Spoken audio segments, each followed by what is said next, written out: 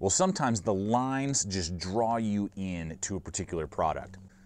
And the design on the Fox Knives Ziggy absolutely does that. As soon as this dropped onto the market, I gravitated to its look, its feel, its design. And today we're gonna dive in to this Italian made blade from Fox Knives to see what it has to offer. Well, that's right, folks. Welcome back to another video. I'm Aaron, and we're gonna have a good time as we look at this very organically flowing blade. That's just what comes to mind. As soon as I saw this hit the market, I was like, ooh, that looks really, really slick. I mean, it's slim, it's sleek, but it's not too um, uh, light and too small. Um, that it's got a little bit of heft, it's got a little bit of size and beef to it at the same time. It's just got such an organic but very uh, European look to the profile of this Ziggy produced by Fox Knives. And I haven't had a lot of um, experience with Fox Knives, so I wanted to get my hands on this. So I actually reached out to one of our affiliates, GP Knives. I've purchased tons of gear through them. They've done an awesome job. They're always quick with their shipping, good return policies, things like that.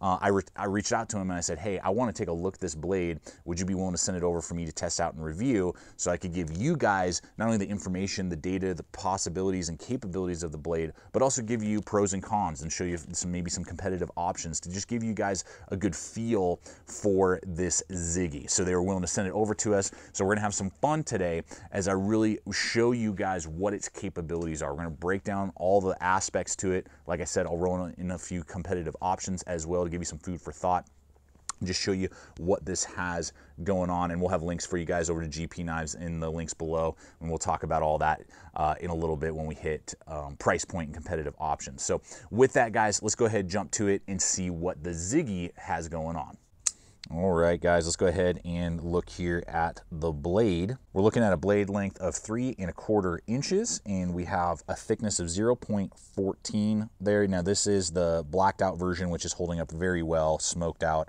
really looks nice. You can get either a satin or stonewash finish is out there as well.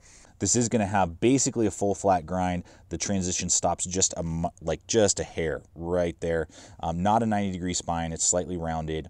Good precise tip, but not feeling like too weak and flimsy and at that 0.14, just a hair over an eighth of an inch thick, you're going to get a very stout blade. But because of how uh, high the, the edge to spine is, the geometry is so gradual that it's a great wicked slicer. And the belly really works well. Great edge geometry out of the box. Was really happy with that. Just a really, really good slicer. On the other side here, we've got the N690. Um, where it was made in Italy, and then the designer um, really, really cool. Very well done. Just looks great. I love the drop that it has right there. So, I mean, that's part of it is just the blade shape really, really connected with me. I was like, man, that looks freaking good. Um, and then the N690, it's Rockwell 58 to 60. Uh, I really like N690. Never had a, a beef with it. It's basically like a type of VG10. Um, what I have always found is if it's uh, Italian or like sometimes Spain um, in Germany, you know, just kind of depends on where you get it. Um, European manufacturers tend to do a really good job. They really know the steel well, very rust resistant.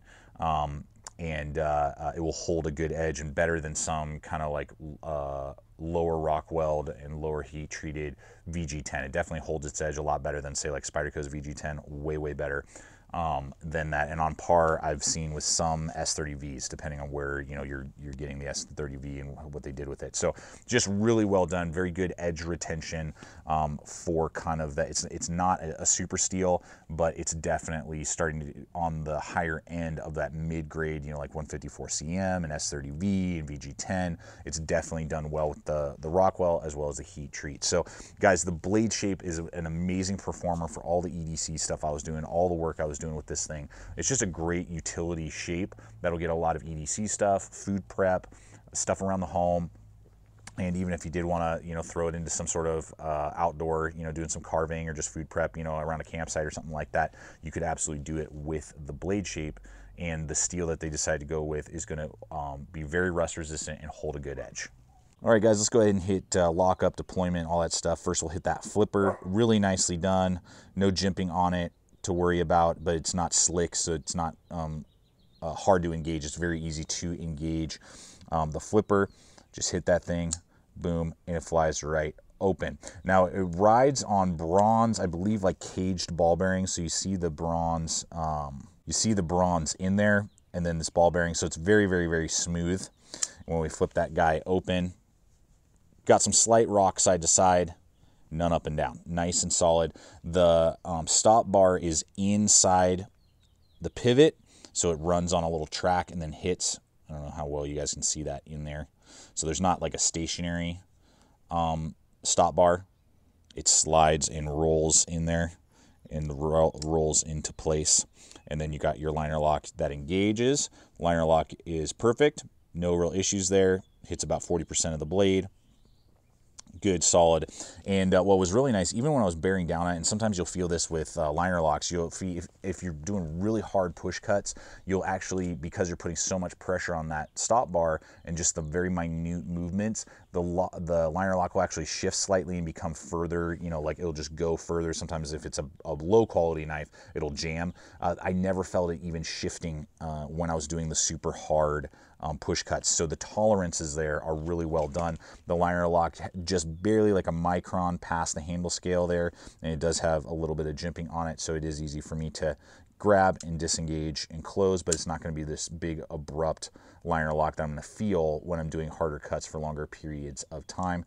And then the centering is dead center there. When I first got it out of the box, I was kind of concerned. I was like, whoa, is that tip buried in there enough? But I worked on that thing all over the place and I could not catch it. So um, it may look like that at first glance, but I could not catch it any which way. I was playing with it a bunch. Um, so it is recessed just enough against the tall. That's just something that I noticed with this knife and that you'll see is like definitely Italian precision in this tool.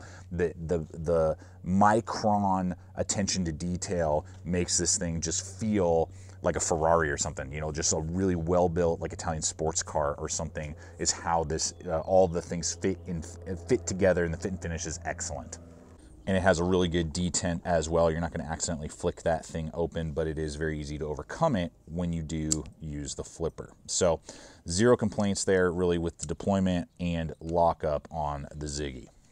All right, guys, we'll dive into the handle and the ergonomics. This is a carbon fiber. I do believe that there are some other versions that exist out there. I believe there's like a, a hardwood handle version, but this is the carbon fiber version. It's going to be four and a half inches long from front to back, and then it's going to be a thickness of 0.59, so just a hair over half an inch thick. You do have that back spacer right there, lots of flow through, which is nice. Really scalloped well.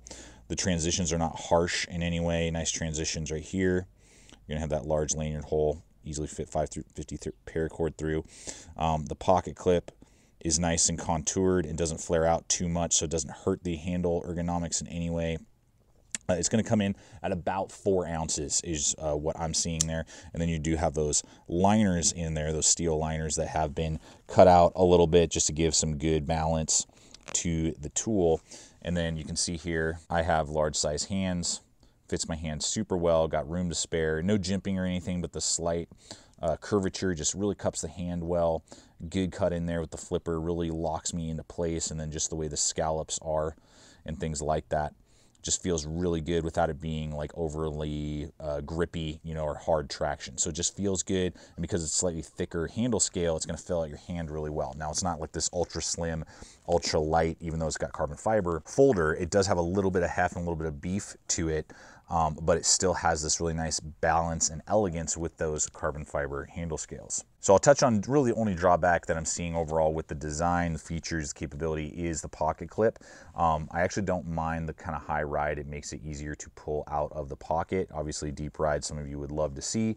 Um, you know, it, it, comes with about three quarters of an inch sticking out of the pocket, but because it's blacked out everything, it's not as huge a deal and it's not going to be as noticed. And again, as I said when we were talking about ergonomics, not um, too obnoxious or too painful for um, when you're holding the blade and because of the carbon fiber there, um, though the tension between the carbon fiber and the pocket clip retains it in the pocket very well. It's not going to thrash your pocket when you pull it out. So that's a that's a really good thing. But it's not ambidextrous. I mean, there's no reason the flipper uh, the liner lock could easily be used for lefties, but there's just no way to attach it for lefties. They could have easily just added one more screw or something here, put a little base plate, and then been able to swap it for lefties. I think it could have been easily an ambidextrous pocket knife. As it is, it really is not designed, and it's only for righties, so I believe that is a drawback to the overall design. All right, guys, let's go ahead and hit price here for you on this knife. This tool is going to go for about $195, about 200 bucks probably with tax um, is what you can usually expect for this tool. Now, um, for Italian made with these type of materials, it's actually about the going rate. Um, you know, manufacturing in Italy just costs a little bit more. Um, I'm actually just with everything going on in the world today, really conscientious of uh, where my tools are being manufactured, particularly with my knives. And I'm glad that this is made in Italy. And if those of you who are interested in this tool, you know, we're able to support um, Italy right now with all of the coronavirus and just like their shutdown of their economy, you know, helping their economy even, um, I think is an important thing to even just consider when you are looking at tools like this. Now, again, GP Knives sent this over to me to test, review, and give you guys my feedback. So we'll have links for you guys below. Um, shout out to them as, as, well. I mean, I was purchasing gear way before they ever became an affiliate through them, and I was just really happy um, with their prices, their um, you know service, all of that, and that's why I decided to pick them up as uh, an affiliate. So um, that's what that is going to cost. And then just to give you one competitive option, when I was looking through my entire collection, really the only thing that kind of stuck out is something similar would be the Steel Will uh, Mini Gekko. It's about the same size. Uh, it's also made in Italy.